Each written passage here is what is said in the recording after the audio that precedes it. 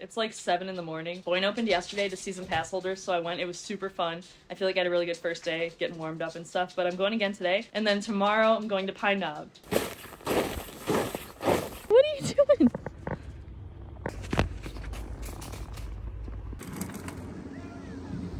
Today's six so far. The rails are really nice. It's kind of windy, so my eyes are red, but I redid my helmet stickers. I work for Boyne Country Sports, and now I'm gonna ski for Boyne Country Sports. So I was on planks. I'm not anymore. I got a new outfit from Boyne Country Sports. I'll have to show you. It's super sick, but I didn't wear it today because I felt like I was gonna fall a lot today, and the jacket's white.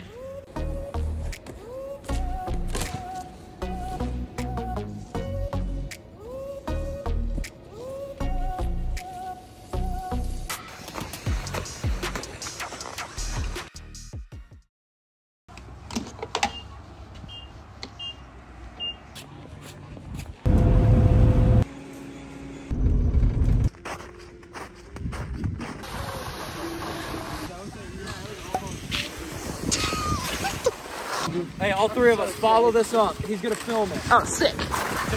Double front of me, because I'm gonna fall. Double film.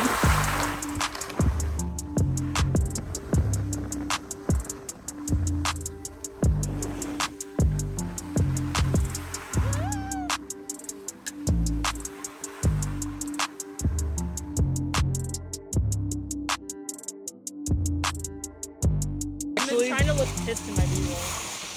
I'm trying to whip it.